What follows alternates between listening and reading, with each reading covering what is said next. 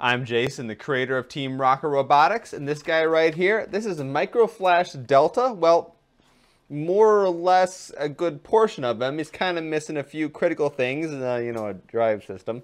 So let's go ahead and work on that tonight. So let's get this process going. Welcome back to the second build log for upgrading Microflash Gamma into Microflash Delta, the next version of my Beetleweight Combat robot here. Let's get this robot down on his stand, which is quite helpful, even though I don't have any wheels to keep off the ground right now. I was building a whole bunch of wargaming terrain on here. Oh, I can't see, there's a whole bunch of flocking and styrofoam and stuff. So this is a great way to keep that garbage out of the robot. But what I'm doing today is redesigning the drive system well, I should say redesign the drive mounts is probably more proper terminology. So let me get this robot open.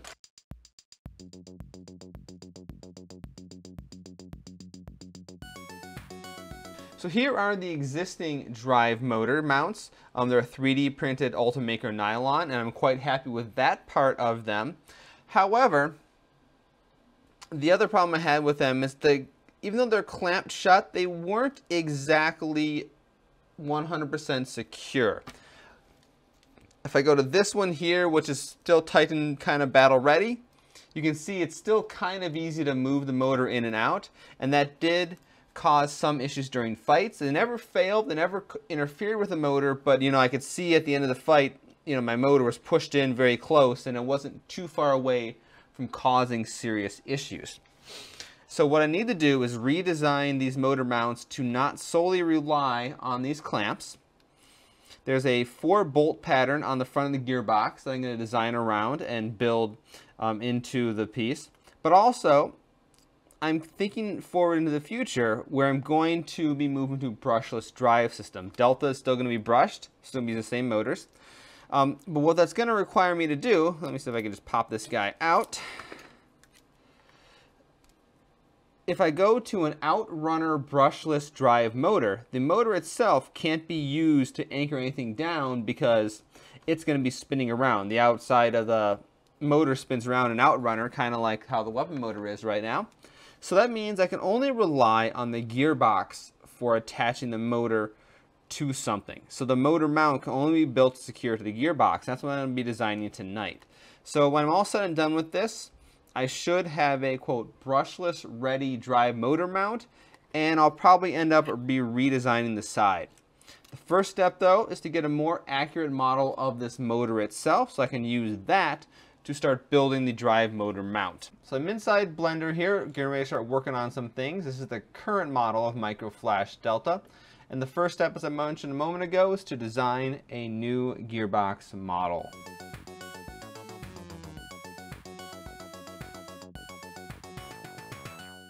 And here's exactly what I'm looking for. So this is the product listing on the ServoCity website. This is where I bought these motors from. I got them on sale a while ago where they're a little bit cheaper, but this is about the regular price. These particular holes are at an 18 millimeter diameter and they're M2 threaded holes. So, okay, M2.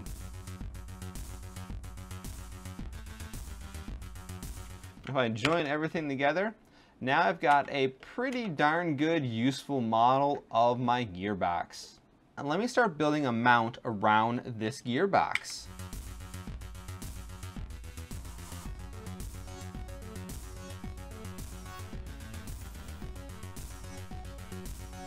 Well, after half an hour or 45 minutes of fiddling with vertices, I got a working motor mount. Well, these Blender's happy. 3D printing, well, that's a whole other topic, but you know, um, yeah. So this is a good start. We're off to a good start.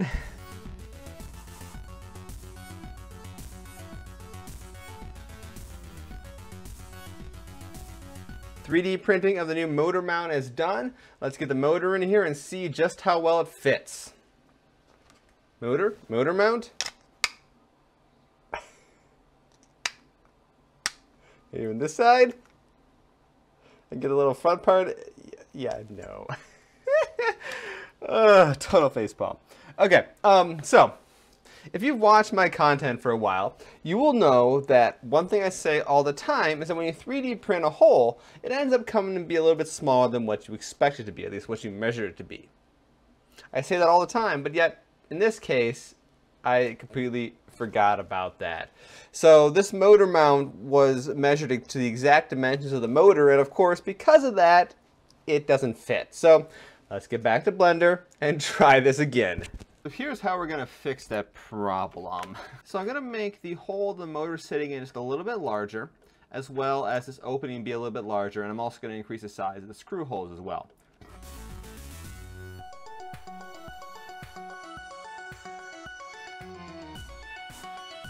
Motor mount revision 2.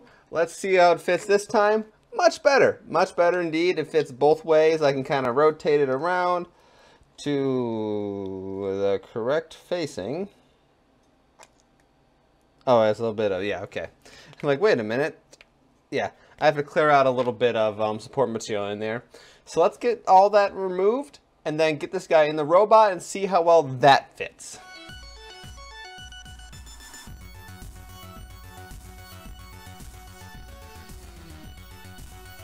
Well, that's a problem there. It looks like, so here's the motor mount right here, and then here's the new structure piece.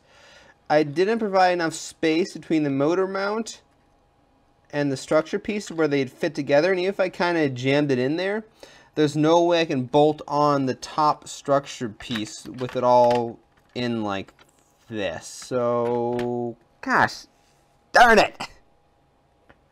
Fail! Okay.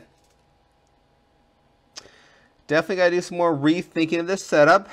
Back to Blender one more time. Hopefully, this will be for the last time. So here's what we're going to have to do. I can move the motor mount back over this way a little bit. It's a little bit closer to where it was originally with MicroFlash Gamma. But this is going to cause a problem. Let me bring the motor in here, the actual 3D model of the motor. What you're going to see is the motor is now smashing into the ESC. In particular, those three green connectors here for the motor and the power, because so while most of the ESC is smaller than this block, there are the three connectors down here, like I said, and that's what the motor's running into. So the solution is going to be relatively simple. I'm going to move this ESC back a little bit and merge it into this structure piece back here. And then that way I'm going to have to reinforce it a little bit because I'm going to be cutting pretty deep into the structure piece, but then I'll add some material here to reinforce it. And also while I'm at it, over here I want to add a place for the main power switch to go, and then provide some sort of point here for this hole so the main structure can be attached to the side of the armor. So let's get that process going.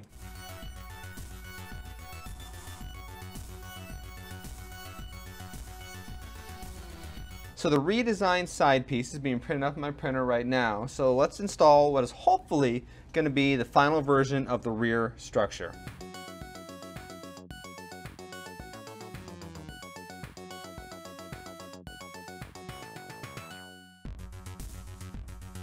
Alright, well, here's another little facepalm moment I've ran into here, and it involves a little tray that I use to hold the ESC in place. Of course, this tray I brought over from MicroFlash Gamma, but now that I've redesigned the rear structure, it doesn't quite fit right. So I'm just going to chop it up a little bit here, but I'm going to have to work on getting it just slight modifications to make it work with the newer rear structure, assuming this is going to be the final piece.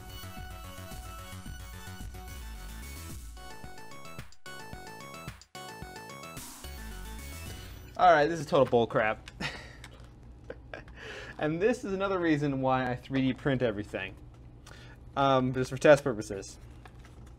I'm trying to put the top structure on, but it turns out that this nut right here that holds the motor clamp together a little bit is just a tiny bit bigger than the piece around it. And because of that, well, this structure piece doesn't go down quite right. So here's one more problem. Right now, these new motor mounts don't give me a whole lot of space between the side of the robot and the wheel. Let me hold it like that, you can see it's, eh, there's not much there. Maybe maybe an eighth of an inch if I'm generous.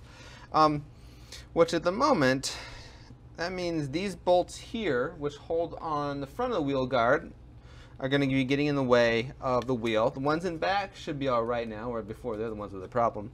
Um, which means I indeed have to do a little bit more work here. So let me just open this thing back up and think about everything just a tiny bit more. it's like, ugh.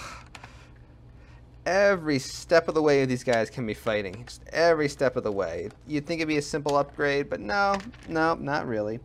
Alright. Yeah, okay. Let's do one more Blender montage quickly to get this thing printed off.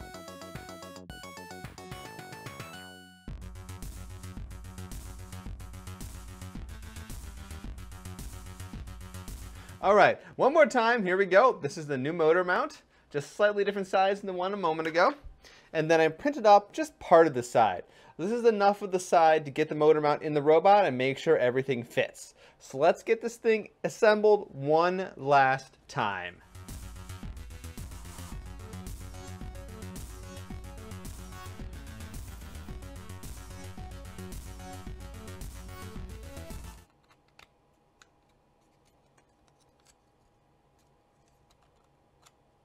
When assembling a testy robot, make sure you're using the right parts.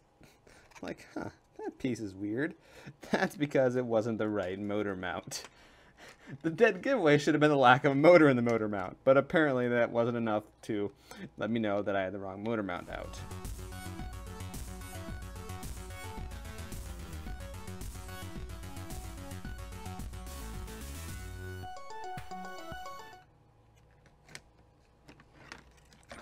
Come on.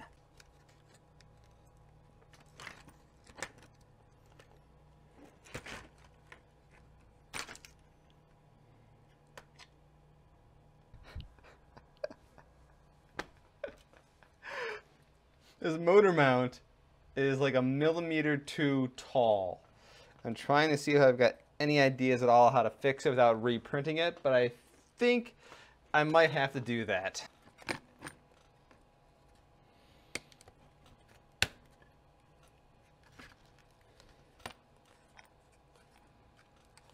Well, let's go ahead and call this episode of Building Microflash Delta complete. I know I didn't get the motor mount completely done. It's still a millimeter too tall, but I'm going to be dealing that with episode 4, where the main goal is to get this bad boy in the robot. This is a 4S battery, and that way I get faster performance, more powerful weapon, and hopefully I can get over the issue with the Titan belt without having to go in and program the um, firmware in the speed controller, but you know, hey, maybe I'll do that anyway. Um, but I also got to address one other problem that I really wasn't aware of with this particular design. It turns out that a number of competitions, including one I wanted to compete with in August, have size limits. Microflash is actually a very large beetle weight robot. When the um, the weapon's fully out from here to the very back is 15 and a half inches. And there's competitions out there that have a 14 inch cube maximum size. Uh, Cirque, Central Illinois Robotic Combat, something like that, has a 12 inch cube maximum size. So if I want to compete, I got to get this guy down to smaller dimensions. So in addition to the 4S battery and actually getting the final motor mounts in the robot in the next episode, I'm also going to find a way to chop about an inch and a half off the back of this robot. Probably redesign the wedge that I never really used anyway because of certain vulnerabilities that I couldn't use. I'll talk more about that next time. And yeah, and that way I'll be able to get this guy at least down to 14 by 14 if I want to com eh, compete in that particular event next year. So thank you guys all for watching. Once again, I'm Jason, the creator of Team Rocko Robotics. Go ahead and hit subscribe on this YouTube video if you haven't done so already to get the latest build logs of Microflash Delta, as well as tabletop gaming things, cosplay, and other weird stuff, 3D printing things I'm pointing off the camera. I always do that every episode. I point to something off camera and you never know what I'm pointing at. I swear there's something over there. I'm actually testing out something that's working out, looks to be working out pretty cool for coding 3D prints. And the lawnmower guys are coming back. I think it's technically an edger. So let me just end this show by saying thank you guys all for watching and have a great week.